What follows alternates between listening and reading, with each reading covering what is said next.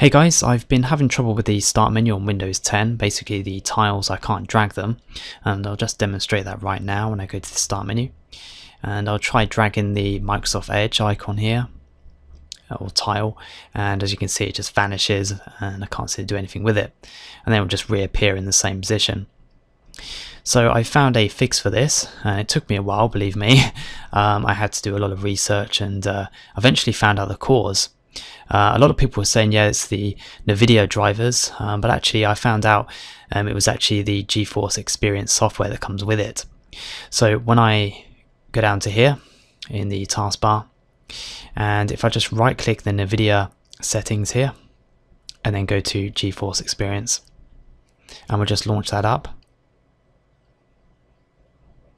And what you have to do is go to the settings, this uh, cog up the top here,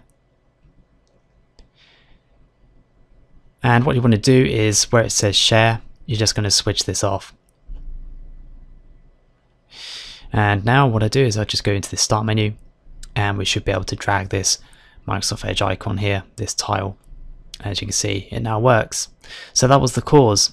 It was just simply um, this share button right here um, just remember though, if you want to share your games, you know, stream it, um, you'll have to turn this back on to be able to do that.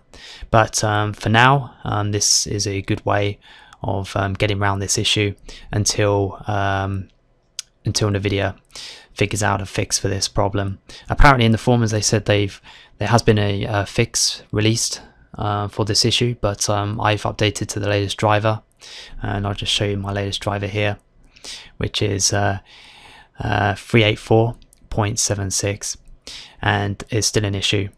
So um, that's a way around it. I hope you find this helpful and don't forget to share and subscribe. Cheers.